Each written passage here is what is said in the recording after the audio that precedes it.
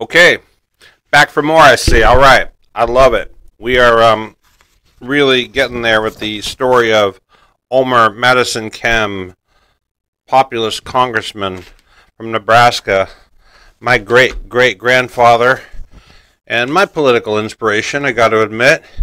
There's his story, which is the master's thesis written by DeLloyd John Guth scholar at the University of Manitoba School of Law.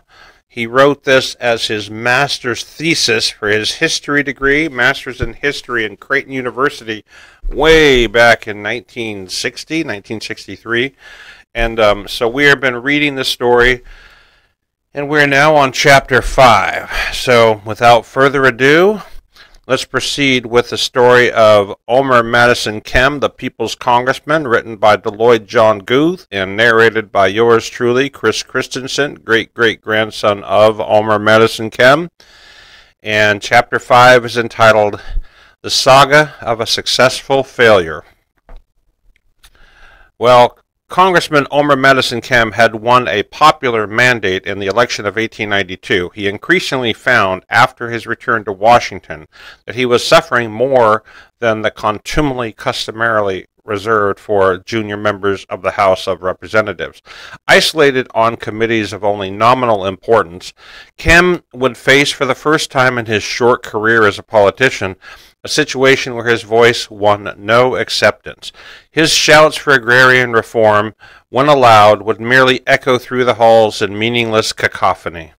Like prairie whirlwinds, Kem and the handful of congressional populists could howl but could succeed only in raising a little dust. The Republican sun had shone too long and in too many of the right places to permit a few gusty speeches to bring relief for the farmers' economic and political drought. Even in the face of worsening financial conditions throughout the country, Omer Kem's voice would evoke only growing derision from the conservatives controlling Congress. The lines of battle over the financial issue had been well defined in Kem's first session in the Congress, but victory for the Silverites seemed imminent with the election of Cleveland in 1892. Kem, however, soon learned otherwise, for even though the new president had been elected on a Democratic platform calling for tariff revision and the status quo on the financial question, Cleveland had quickly called a special session of Congress which would convene on August 7, 1893, to destroy the Sherman Silver Purchase Act of 1890. A financial panic in the spring of 1893, which quickly became a major depression, was the immediate cause of Cleveland's attempt to restore business confidence by curbing further inflation. This breach of faith with the Westerners, as Kem saw it, merely proved again that the vested interests could wear both Democratic and Republican robes over their solid gold vests. Even though Cleveland's anti silver purpose had been made clear, Kem and the other Westerners approached the special session with high hopes. For them, the free coinage of silver meant an enlarged currency and therefore the provision of a panacea for the debt ridden Western farmers. Kem and his fellow Silverites welcomed the opportunity for which they had long called to place their issue squarely before the people. On August 11, 1893, the Democratic administration introduced its bill calling for the repeal of the Sherman Act of 1890. Congressman Kem immediately supported the time limit placed on debate as proposed by Congressman Richard Silver Dick Bland of Missouri. During the debate on the administration's proposal, the Silverites hoped to ram through its antithesis, and from that point on, the House of Representatives began a furious debate. On August 24th, during an evening meeting of the Silver Session, the fiery red-headed populist member from Nebraska with a torch-like tongue to match took to the floor in what would be the apogee of his entire congressional career. The Honorable Omer Madison Kem first noted the fact that those who had sneeringly referred to the populists as cranks were now howling the loudest. All of the wrath and venom in his muscular body poured out in masterful invectives hurled at the merchants, trusts, British bondholders, banking corporations, and the betrayers of the people's confidence who now resided in Washington. After damning the moneymongers of the East, Kem dug in his populist heels and thundered, For others I cannot speak, but for myself live or die, sink or swim, survive or perish, I am for free coinage, sixteen to one, and am willing to stay here till it is secured or my term in Congress expires. The vicious attack reflected all of the hate which Congressman Kem could conjure up, and he knew full well that it had been warranted. He did not have to look far for justification of his wrath. His home state was on the verge of total financial collapse, with the Capital National Bank of Lincoln leading the way in January amid a disclosure of a sordid connection between bank speculation and state government. In all, 21 state banks with a capital of $22,400,000 failed in Nebraska in 1893, giving Kem part of the raison d'etre for his verbal onslaught. Following Kem's powerful indictment of the repeal bill and its sponsors, he cast his vote for an amendment providing for free coinage of silver at the ratio of 16 to 1 the conservative Republicans and administration supporting Democrats fought back with frequent demands for quorum calls, quorum roll calls, during which they sat silently in their seats. After the parliamentary maneuvering, the House voted down the amendment. Compromising Silverites next offered four amendments which progressively devalued the ratio of silver to gold to as low as 20 to 1. But Kem either abstained or voted against these last ditch attempts. On August 28, 1893, the vote came for the repeal of the clause requiring the purchase of silver, and it easily carried. Kem cast his ballot against repeal, but the conservative Eastern Democrat Republican coalition handily sunk the silver ship of state, with Kem still inside it. Though Kem's hope of financial reform was all but lost, Nebraska's only avowed populist congressman still remained on the offensive. Undaunted by what he deemed to be Cleveland's blatant perfidy on the money question, Kem and the Westerners decided to test the administration on its promise of tariff reform. When the issue came to the floor of the House, the defeated Silverites made an immediate move to add a provision for a graduated income tax. Once again, Cleveland's conservative friends reacted apprehensively, attacking the anarchists and crying for a halt to the communist march.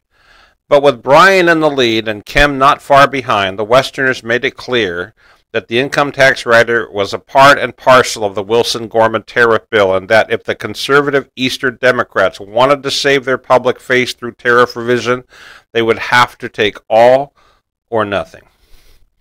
On January 31, 1894, Congressman Kem took to the House floor once again, this time to aid in cramming the income tax amendment down the president's throat.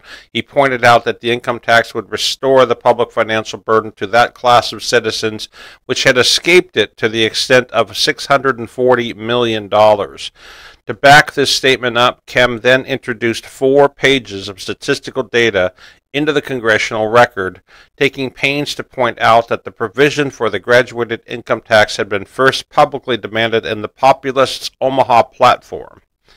In the end, the Wilson Gorman tariff with the income tax rider passed and became law without Cleveland's signature. But Kem soon had further evidence to support his conspiracy charges. In 1895, a conservative dominated Supreme Court disregarded its previous approval of the Civil War income tax and declared unconstitutional the new levy on incomes. Congressman Kem and his Western colleagues had won a momentary victory, but had lost the war for reform. Disappointed by his defeat on the silver and tax issues, Omer Kem later charged in a personal challenge from his seat in the rear of the House chamber that the Republican Party is responsible for enacting the laws which destroyed the money of the people, and the Democratic Party is responsible by its administration for carrying out those laws to the very letter. He had lost faith in both political parties, and they had long ago relegated him to the status of oblivion. Both parties quarantined Kem for the reform ridden plague which he bore, and only the western segment of the Democratic Party sympathized in the least with his efforts. Thus, while Congressman Kem could boast of seeing his constituents rightly represented, he had to face the fact of the futility of his crusade for agrarianism. Nevertheless, while Kem could not win fights for his constituents, he did seek to render them exemplary service in the he did seek to render them exemplary service in the performance of his routine duties. He attended practically every sitting of the Congress, and during the battles of the Silver Session and the subsequent efforts for tariff reform, he held a record of attendance which among those of Nebraska's six members was second only to that of Bryan. Moreover, he had done so during a period of excessive congressional absenteeism. On only one occasion did the House issue a warrant to summon him to his seat, and that was in the closing weeks of his third and final term in office when he had completely given up his political career. On the matter of petitions from citizens and groups in his district, Kem faithfully entered every one in the congressional record and used them repeatedly as proof positive of the popular support he had for his political decisions. When at home in Nebraska, Omer Madison Kem also strove to merit the title of the People's Congressman.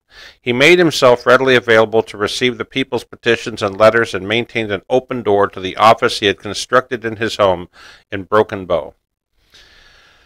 Kem's actions in Congress drew various reactions from the newspapers back in Nebraska. The Alliance Populist Press generally clung to Kem since he consistently acted in support of its principles.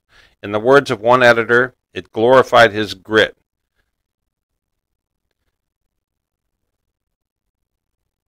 Or, excuse me, it gloried in his grit, trumpeting the fact that Kem had never faltered in his battle against plutocracy. Moreover, Kem's position as the personified antithesis of the Republican Party brought him sympathy publicly from the several Democratic newspapers in the state. As their leading journal put it, Kem was the most conscientious member of Congress and had become well known to Nebraskans for his firm and courageous and faithful devotion to duty. At the same time, the Republican press continued its personal attacks on Kem, calling him everything from that red-headed rooster to a nonentity and a picaroon what pleased the Western farmers became anathema to the Republicans, and what was a matter of principle to Omer Madison Kem had become the subject of ridicule to the quote unquote old guard of Nebraska politics. Kem simply took these attacks as indicative of the fear aroused by his noble crusade, ignoring the smears and stooping to reply on only one occasion. On October 17, 1893, Congressman Kem answered the charges made by the Omaha Daily Bee in a short speech made on the floor of the House. The hostile assertion was that he and Bryan had not supported a certain bill for the benefit of Nebraska. Kem simply pointed out to Edward Rosewater the Bee's editor, that neither he nor Bryan had been members of the 51st Congress, which had considered the proposal, and he jibed, if anyone should be blamed by the Republican press, it had to be the Republican delegation that represented Nebraska at that time. Oh, neither attacks nor applause unduly affected Kem's realistic assessment of his political prospects. What little progress his crusade had made in Washington had been with the aid of Bryan and the Western Democrats. Kem saw little chance to gain further reform under the political status quo, for two terms in Congress had shown him that success required more than personal dedication and sectional shibboleths. As a populist, Kem soon realized that he could not obtain reform by bucking the tiger alone. As he later recalled, the Democrats, by 1894, had stole enough of our populist thunder to check our growth, while the Republicans had managed to hang on in the face of growing opposition from the Westerners. As a result, he became convinced that only through continued cooperation with the Western Democrats could he achieve the reforms desired by the populists, and at the same time such cooperation had become necessary in order for Kem to protect his political life against a Republican resurgence in Nebraska. When convention time arrived in 1894, Congressman Kem found himself caught between the diminishing political strength of his own party and a revitalized Republican opposition. As early as 1892, his populist colleague in the House, William McKeighan, had been forced to run as a populist Democrat fusionist. In that same election, the Republicans had been able to recapture the control of the state legislature, even though a coalition of Democrats and populists could defeat them. Thus, by 1894, Omer Kem had developed serious doubts about running for a third term on the populist ticket. He did not attend the populist congressional convention in the 6th District, even though it was held in Broken Bow during a congressional recess. Nevertheless, Kem received the nomination, but not until a rival candidate, William Green, had openly canvassed the delegates on his own behalf.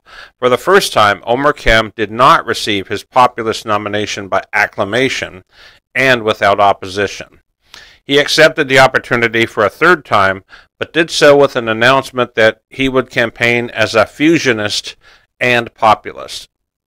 One month later, on September 24th, the Democrats met at Broken Bow for their congressional convention and cleared the way for an endorsement of Congressional Kem, of Congressman Kem, by turning the decision over to a five man committee. This group was to decide between nominating a Democratic candidate or endorsing Kem.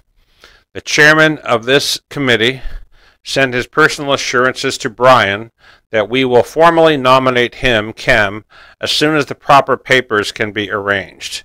Eleven days later, the committee completely endorsed Omer Kem for a third term in Congress, thus consummating the bid for fusion which Kem had made after his populist nomination.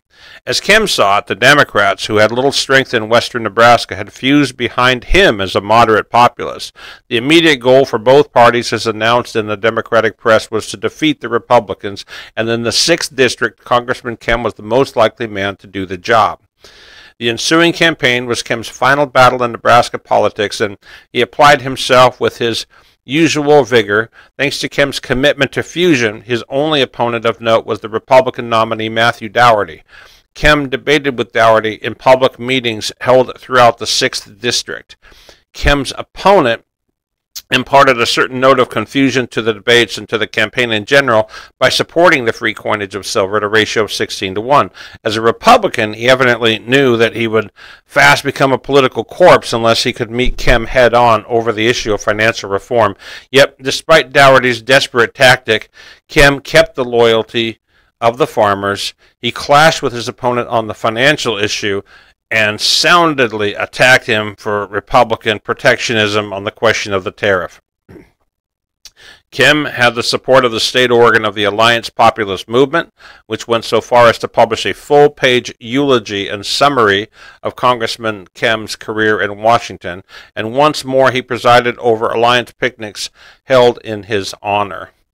Near the close of the campaign, he participated in a day long tribute to him given by the people of his own Custer County. Best of all for Kem, he received a comfortable majority on Election Day, obtaining 17,077 votes to the 14,676 votes cast for his Republican opponent. Omer Kem won only one more county than did Dougherty, but he ran so well throughout the 6th District that he did not lose a single county by more than 90 votes.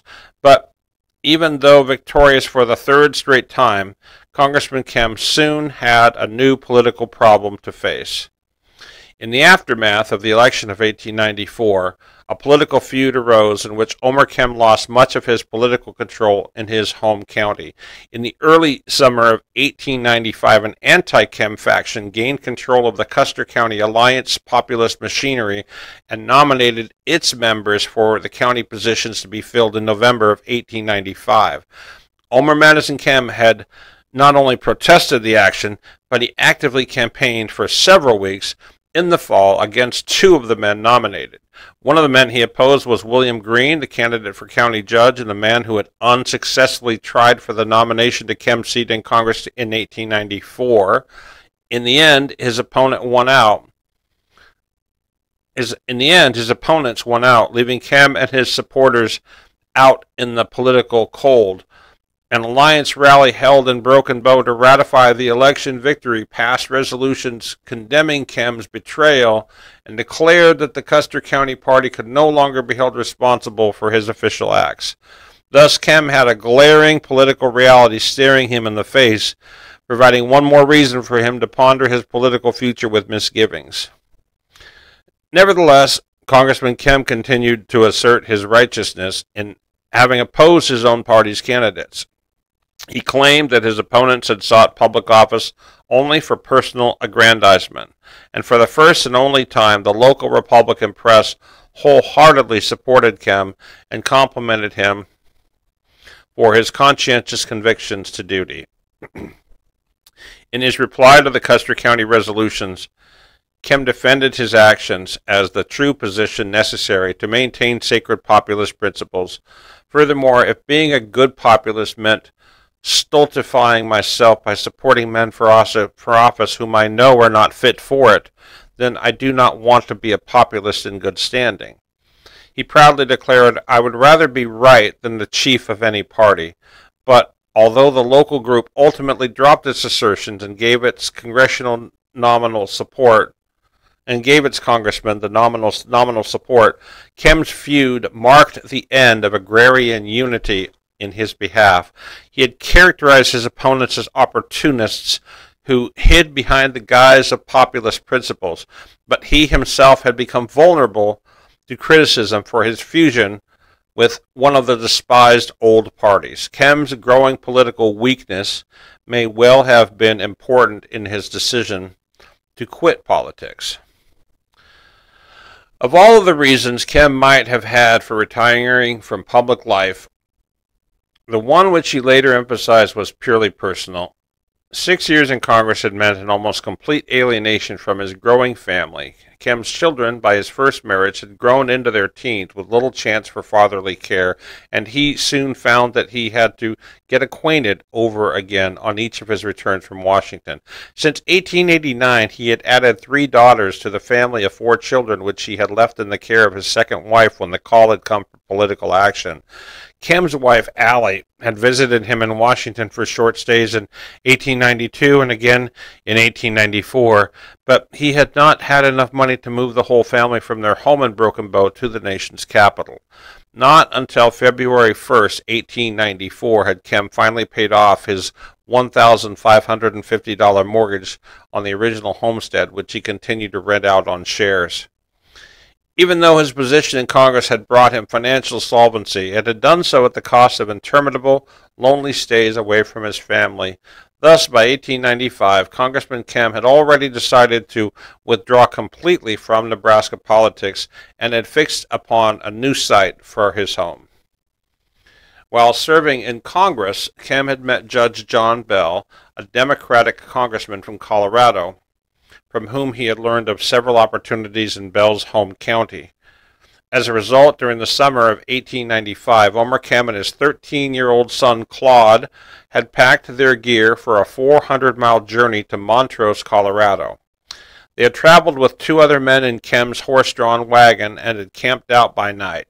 Kem had taken a survey of the country as soon as they arrived at the home of Judge Bell and had decided that it would be a perfect place to resume his agrarian vocation. He had bought a 160 acre farm which had been abandoned because of several mortgages, but which had over 100 fruit bearing trees on it. Had paid $15 per acre or $2,400, which was the total amount of the mortgages. He had been unable, however, to take personal possession until the end of the 54th Congress, so he had therefore rented out his new farm until the summer of 1897. By the end of 1895, then, Omer Madison Kem had definitely committed himself to a quiet exit from Nebraska and from his short but colorful political career. With all of his personal plans made, Congressman Kem returned to the political battle in Washington. In the 54th Congress, Kem had to play his role as a ridiculed reformer in the face of a Republican resurgence. He was the only non Republican out of the six representatives elected from Nebraska in 1894, and with the return to the speakership of Thomas Brackett, Czar Reed of Maine, the Honorable Omer Madison Kem fell under a subtly imposed ban which prevented any of the eight populists from gaining the Speaker's rostrum.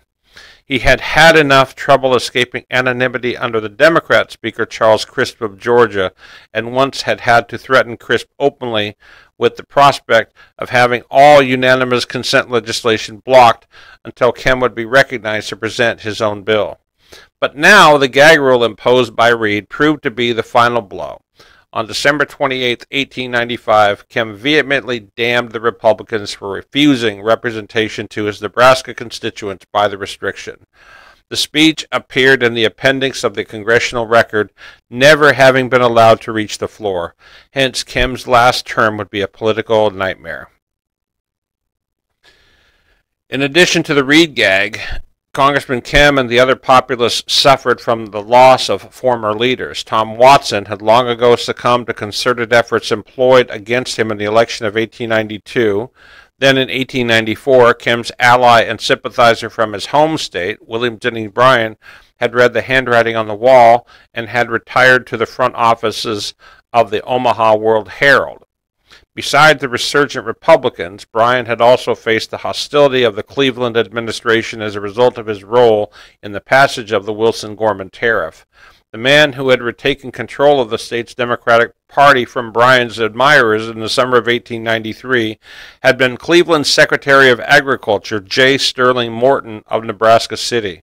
For Kem, the entire story of the demise of Watson and Bryan fitted neatly into his belief in the conspiracy ruling Washington. He and the remainder of the populist faction in Congress became political wanderers, with every man a self designated leader. Kem regularly nominated the unsuccessful populist candidates for Speaker of the House, but he never really assumed political leadership of the rebel reformers.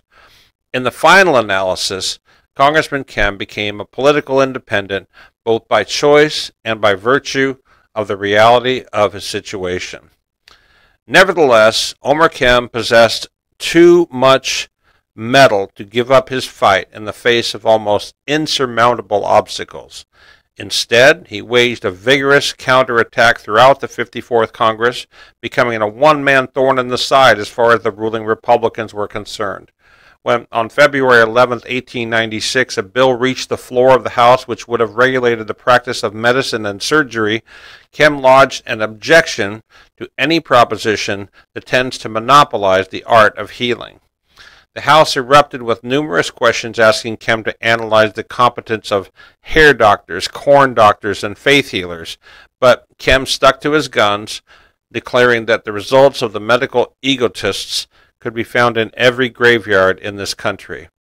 He paralleled the situation with that of the theological egotists who were too dogmatic to tolerate any and all views towards religion.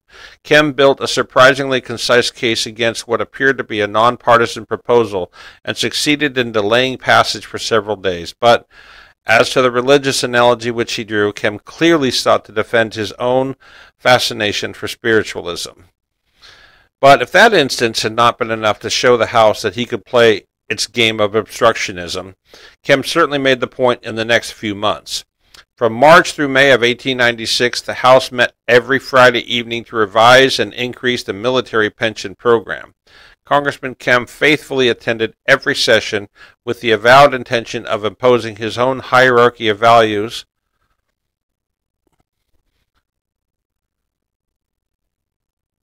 in determining the amount of each pension. He failed to see any reason why an officer or his survivors should receive a larger pension than any Army private, especially in view of Kem's belief that the latter had suffered greater privations and risk to his life.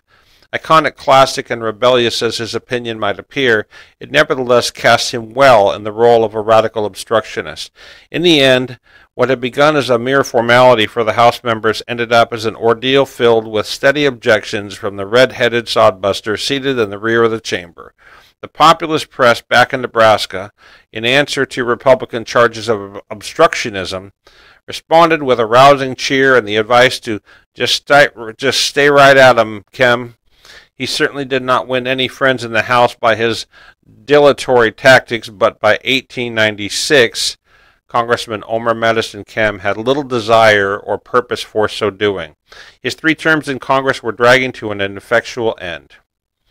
While Kem had tried hard to win political and economic salvation for his fellow agrarians, he had never had the support of a substantial populist bloc in Congress. His party had suffered badly as early as the elections of 1892 and 1894, when the Republican reaction to agrarian radicalism had made itself felt at the polls. The fact that he had found it necessary to run as a fusionist in 1894 rather than a completely independent populist as in the past, merely highlighted the already existing political breakdown of his cause. Moreover, the dissension in Custer County in 1895 had given warning of even greater political trouble. In 1896, Kem did not seek re-election. He closed his Nebraska political career by supporting his Free Silver colleague William Jennings Bryan, who was the presidential candidate of both the Democratic and Populist parties. The latter organization did not long survive the strain of fusing with the Democrats to back Bryan, especially in view of the Nebraskans' defeat. As an individual, Kem helped forge and advance the short lived populist movement, and in the American tradition of third party movements, his party had served its purpose by popularizing its demands.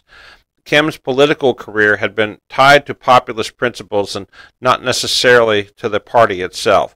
He had thus helped to create and destroy the Nebraska Populist Party, first by actively participating in the drive to turn the Farmers Alliance into a political weapon, and then later by his insistence on fusion with the Western Democrats as the only means for implementing reform. In actuality, the story of his political career coincided with the rise and fall of Nebraska populism. Yet, even if his personal crusade had failed, Kem would live to see almost all of the principles for which he had fought enacted eventually into law. For Kem personally, his three terms in Congress had brought previously unknown financial solvency. He had been able to clear away his debts, to support his family in a respectable fashion, and to purchase a new farm in Colorado when the chance presented itself, all thanks to the $30,000 plus expenses earned as a farmer's advocate in Congress. In addition, he had practiced a little last minute nepotism by taking his daughter Maud to the 54th Congress as his first and only secretary. On July 22, 1896, as a financial preparation for his departure from Nebraska, Congressman Kem had sold his original homestead for $1,200. That summer, he had also returned to Montrose, Colorado, taking a Custer County carpenter with him. They had built a 13 room brick and frame home on the farm at a cost to Kem of over $5,000. Kem then returned for the second and final session of the 54th Congress and left Washington forever in March of 1897. On May 24th of that year, Kem sold his house and land in Broken Bow for $1,250 and prepared for the third and final trip from Nebraska to Colorado. In June, after his children finished at school, he took his wife, seven children, and mother in law to their new home near Montrose. The Nebraska that he left behind had brought him disillusionment and realization, debt, insolvency, obscurity and respectability, and failure and success. Omer Madison Kem would never return, choosing rather to pick up once again his family traditions and follow the setting sun. All right, so that's the end of uh, Omer Madison Kem, the People's Congressman, Chapter 5. That's not the end of the story. There's one more chapter left. You want to know what happened, how we got to Oregon, right? Well, stick around for chapter six, which is going to be coming up next. But thank you very much for sticking around for this chapter. Again, we were listening to or reading Omer Madison Kem, The People's Congressman by DeLloyd's John Guth. Omer Madison Kem was my great great grandfather, populist U.S. Congressman from Nebraska. And as we're learning, his next chapter is going to be in Colorado. So let's see what happens there. And uh, stay tuned for the next video. Don't forget to like and subscribe our video and our um, series on Omer Madison Kem, and you'll hear some great firsthand stories that have never been told about Americans' history. All right, thanks for watching.